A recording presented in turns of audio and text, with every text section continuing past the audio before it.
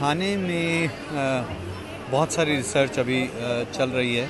तो एक जो चीज़ सामने आ रही है, वो है कि खाना बैलेंस्ड होना चाहिए, बहुत पहले से हम सुनते आ रहे हैं।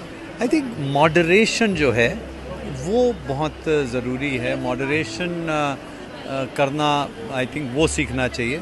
उसको खाने की उसमें खाने की समझ की ज़रूरत नहीं है। समझ की ज़रूरत है।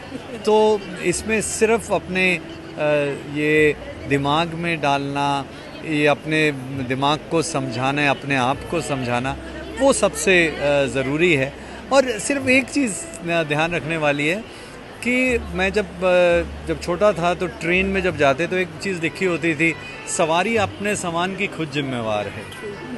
अगर सवारी अपने सामान का ख्याल नहीं रखेगी तो नुकसान सवारी का ही होगा। पड़ोसी का नहीं होता। आप ख़राब खाएँगे, नुकसान ना आपके माता, ना पिता, ना बच्चे, ना किसी को नहीं होता, खुद को हो रहा है।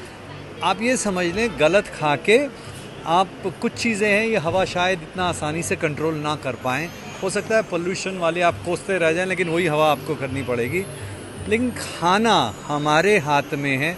जब गलत कुछ खा रहे हो, जब कुछ ज़्यादा खा रहे हो तो एक समझ लें, एक चुटकी जहर की खा रहे